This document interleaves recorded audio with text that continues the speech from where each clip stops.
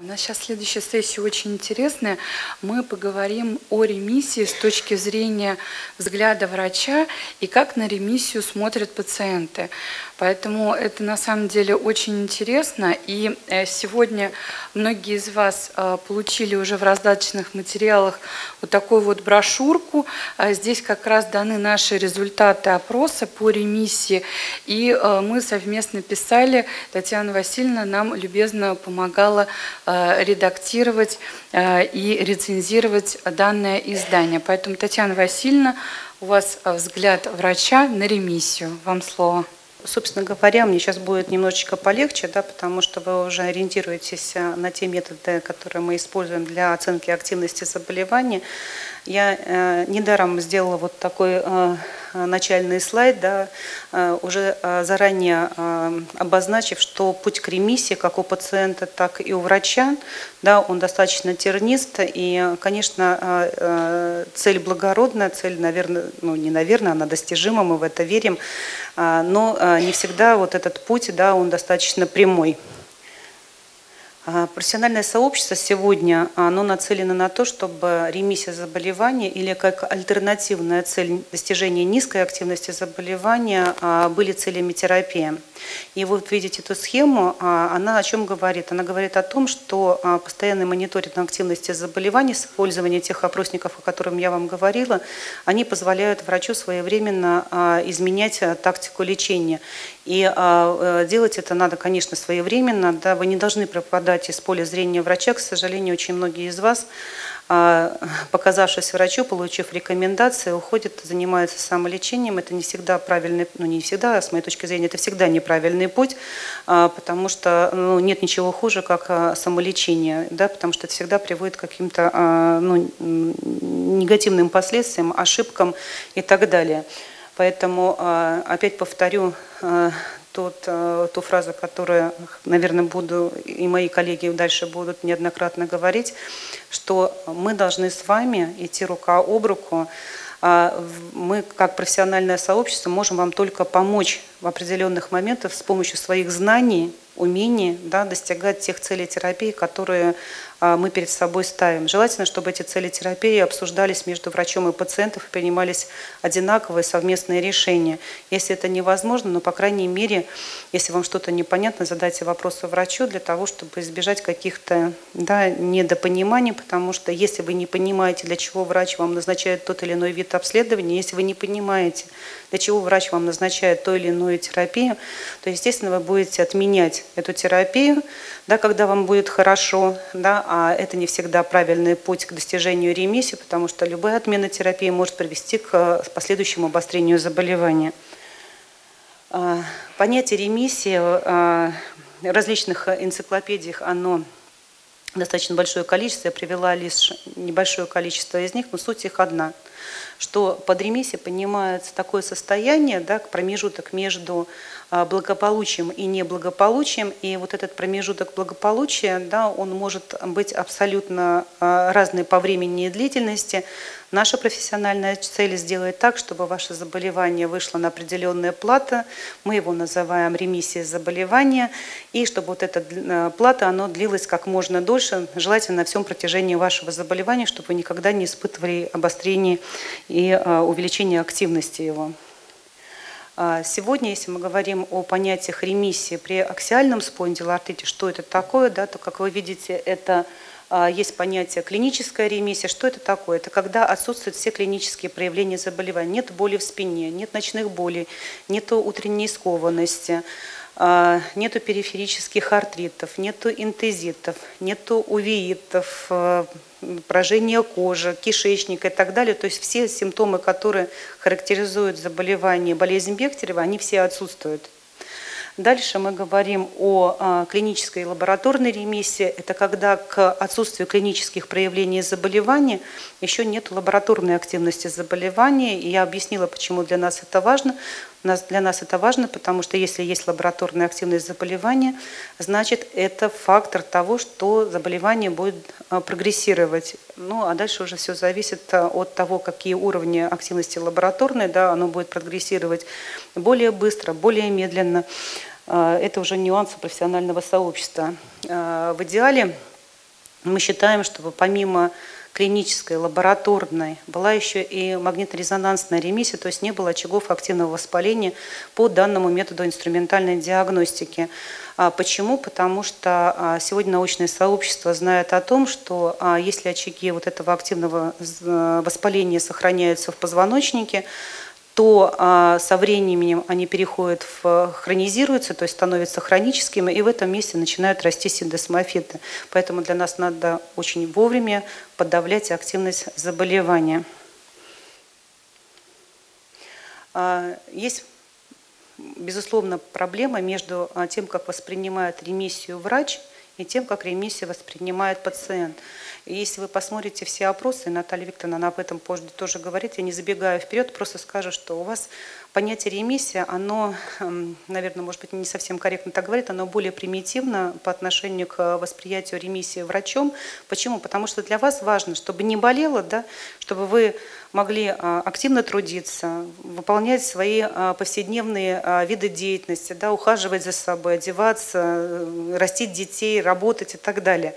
Для врача понятие ремиссии – это более интегральный такой комплекс, э, да, потому что ну, те знания профессиональные, которые мы имеем, а, мы понимаем, что наличие определенных факторов это путь к скажем, худшему прогнозу течения заболеваний, и поэтому для нас ремиссия – такое комплексное понятие, которое я вам уже приводила. Это отсутствие клинических проявлений, и э, сдерживание прогрессирования заболеваний, отсутствие лабораторной активности, еще очень-очень много факторов, о которых я сегодня говорить не буду, но, скажем так, у нас более детальная подходка, и мы считаем, что для того, чтобы говорить о ремиссии, надо контролировать все параметры, э, которые характеризуют ваше заболевание.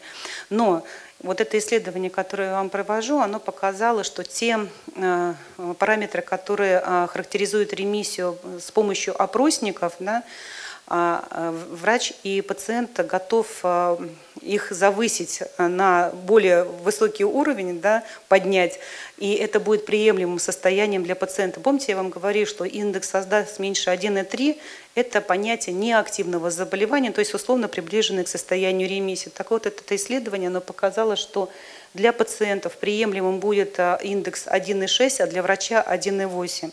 А вот это следующая, последняя колонка, да, которая говорит о том, что если врач задаст пациенту, а согласны ли вы следующие 6 месяцев прожить в том состоянии, в котором вы сейчас находитесь, если пациент говорит, да, меня все устраивает, это значит говорит о том, что а, и врач, и врач тоже будет считать, что а, пациент с его точки зрения может жить в том состоянии, в котором он сейчас находится, значит, это не повод для смены терапии.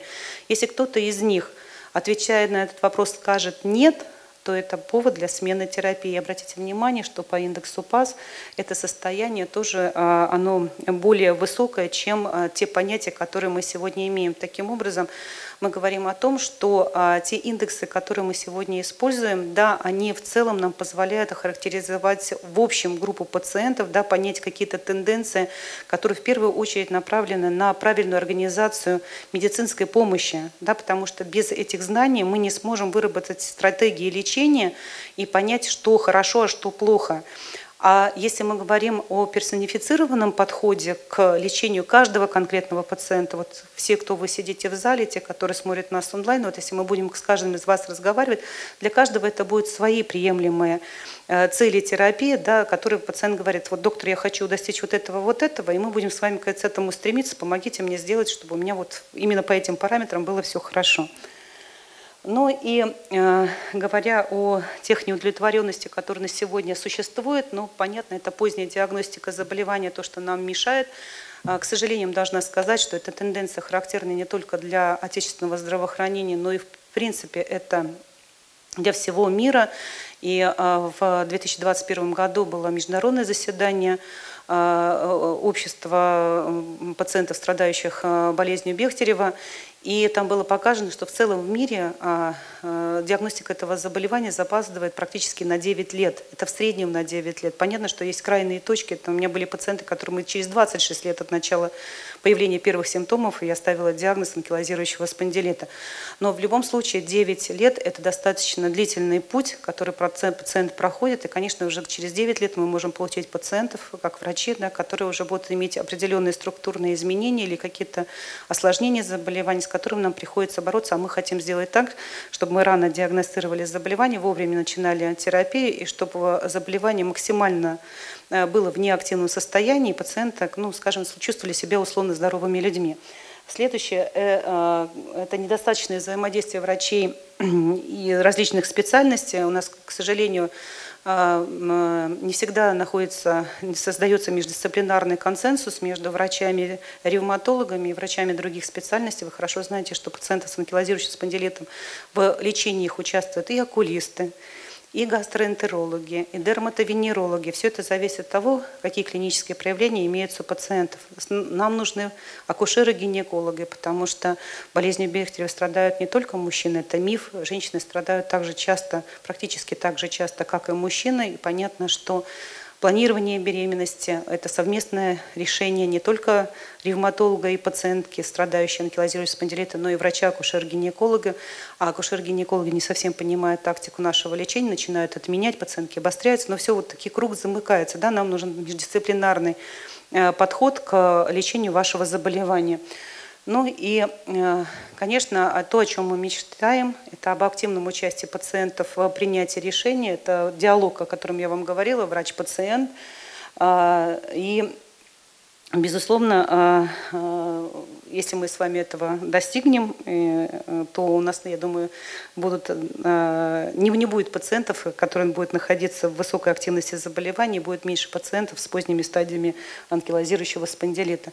Говоря о ранней диагностике, вот при другом ревматическом заболевании, при ревматоидном артите, который поражает мелкие суставы кисти и стопные, ну, такой системный характер носит, там уже профессиональное сообщество подходит к понятию преклинической стадии, то есть выявление тех пациентов, у которых еще нет клинических проявлений заболевания, но врачебное сообщество уже пытается их выявить, своевременно назначить какое-то лечение для того, чтобы, собственно говоря, полностью, ну, скажем, создать условия для того, чтобы это заболевание не развивалось. При анкилозирующем спондилите пока такой ситуации нет, мы только подходим к некоторым пониманиям этого э, понятия, но что мы хорошо знаем, вот этот термин нерентгенологический аксиальный спондилоартит, его можно смело заменить понятием ранее ранний аксиальный спондилоартит или ранний анкилозирующий спондилит. Мы четко понимаем, кто эти пациенты, какие у них проявления заболевания, какие изменения мы с вами можем увидеть по данным магнитно-резонансной томографии. Если мы с вами будем, вот, то есть врачи будут рано диагностировать это заболевание, а врачи смогут рано диагностировать это заболевание, когда наши коллеги, которые работают в поликлинике, врачи общей практики будут своевременно выявлять таких пациентов, своевременно их передавать ревматологам, и ревматологи уже тогда будут быстро а, принимать усилия по назначению правильной терапии и по подтверждению диагноза.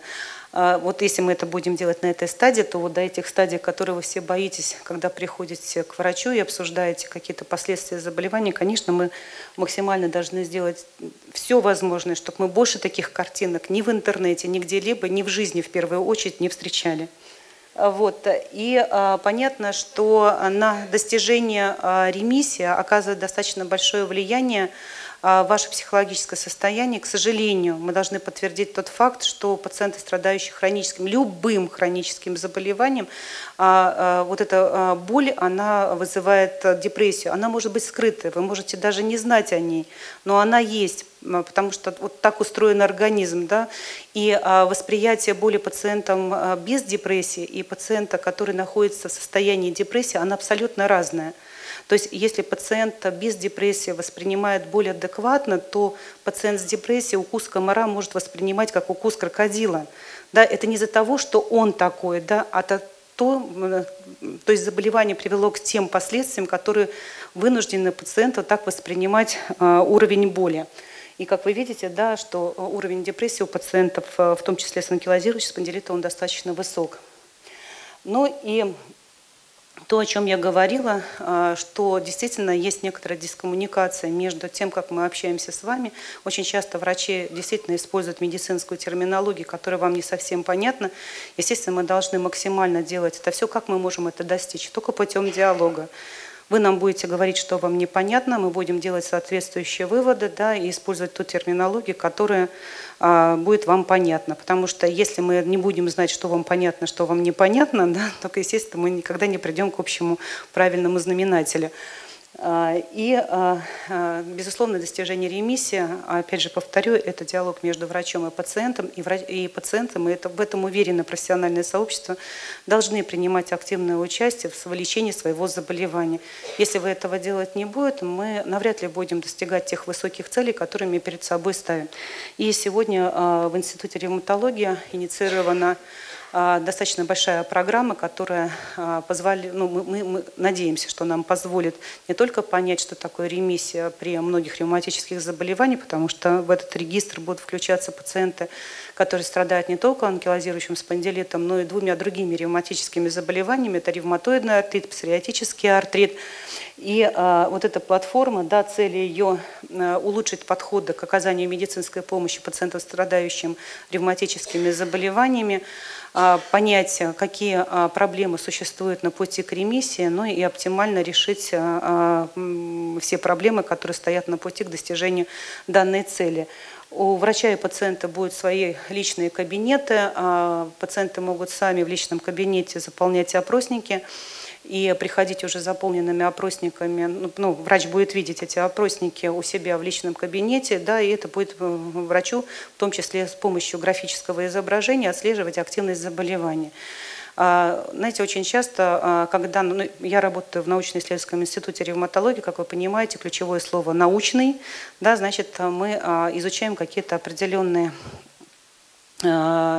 ставим перед собой определенные научные цели да, для того, чтобы понять не только развитие заболевания, да, но и подойти к тем решением тех организационных вопросов, которые позволяют нам более правильно в целом лечить пациентов с ревматическими заболеваниями. Мы предлагаем вам участвовать в научных исследованиях, но, к сожалению, не всегда находим отклик от вас, да, потому что ну, такие объяснения, как некогда, а вот я не хочу, чтобы это был надо мной эксперимент. Я вас уверяю, что ни один врач работающий в Российской Федерации, никогда не будет ставить никаких экспериментов над пациентом без вашего собственного желания, без подписания информированного согласия на участие в научном исследовании.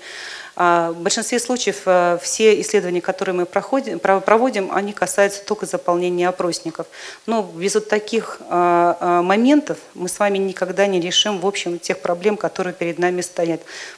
Поэтому призываю вас ну, максимально не отказываться от участия в таких мероприятиях. Ну и вот э, анонсируя наш проект, да, надеюсь, что очень многие из вас станут активными участниками данного проекта, что позволит нам, собственно говоря, э, подойти к понятию ремиссии при анкилозирующем спондилите. У вас будет, как я уже сказала, личный кабинет, который будет позволять отслеживать э, активность заболевания, ставить определенные цели и обсуждать эти цели с лечащим врачом. Ну и заключая свой э, доклад, действительно я считаю, что ремиссия при аксиальном спондилоартите она достижима, она достижима при условии ранней диагностики заболевания, при правильном выборе э, терапии с учетом всех клинических проявлений у каждого конкретного пациента, постоянного мониторинга эффективности лечения, активности заболевания и совместного принятия решений врачом и пациентом. Я благодарю вас за внимание.